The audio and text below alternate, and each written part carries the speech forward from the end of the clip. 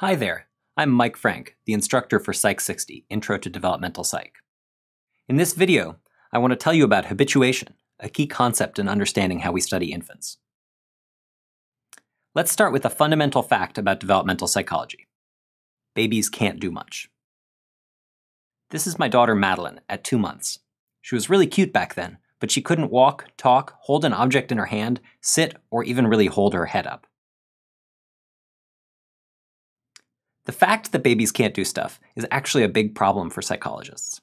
Here's a cartoon from XKCD. These two scientist parents are excited about having a baby and want to reverse engineer it. They say, we should disassemble it, check all the parts, and put it back together.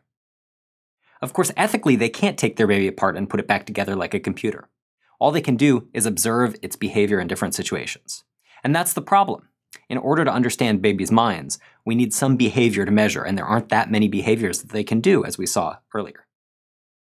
Let's put this a different way. In experimental psychology, we tend to treat the human mind like a black box. We create some input, and then we measure the output. That's the behavior that we're interested in. The trouble is we don't know what that behavior looks like for babies. This is where habituation comes in. Habituation is based on the absolute simplest thing in existence. Everyone gets bored, and we can measure boredom. So imagine this axis is interest, and this axis is time. Boredom just means that as time goes by, our interest drops off. That's what it means to get bored. Well, how can we tell that a baby is getting bored? The simplest thing is that if the baby is crying, it's probably bored. So how do we make this into an experiment? Well, if babies can tell us about whether they're bored by their looking time, then we have a critical tool for understanding whether they can tell the difference between two things. Let's say we're trying to see if babies can tell the difference between circles and squares. First, we'll get them bored with, habituated to circles. So here's circle 1, circle 2, circle 3, circle 4, and we show them these until they're good and bored. That's habituation. Then after they reach some preset criterion for boredom, we spring a square on them. If they're more interested in the square, that means that they can tell the difference between the circle and the square. Because if they just saw it as another circle, they wouldn't regain interest. The technical term for this regaining of interest is dishabituation. So here's how the data from this experiment might look. We're going to be graphing the average looking time from a group of babies across the length of the experiment. And this experiment has two phases, habituation and test. In the habituation phase, the baby sees circles and their looking times go down gradually, as we've been discussing. So they start high, they come down, kind of gradually here. We can connect this up.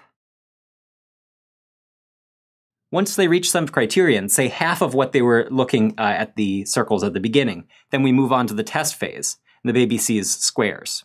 And if their looking time grow, goes up again, then we say that they've dishabituated and they can discriminate the two stimuli. Of course, their looking time will continue to go down afterwards, but the key fact is that increase again. That's the dishabituation.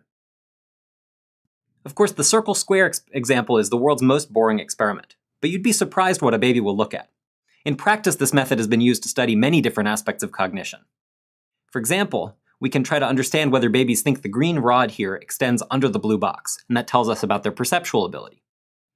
Or we can try to understand whether babies know that the number of dots in the left box looks bigger than the ones in the right. That tells us about their approximate number abilities. Or we can even probe social cognition by trying to understand whether a hand reaching for the ball means that somebody wants the ball instead of the bear. And that tells us about babies' understanding of social action. In each of these cases, the experimenters had to figure out a clever way of using the habituation method to probe babies' knowledge. In this presentation, we've covered three major concepts. Looking time, which is an important behavior that allows us to get insights into babies' mental processes. Habituation, which is the process of diminishing response, for example, diminishing looking, to repeated presentation of a stimulus, in other words, getting bored.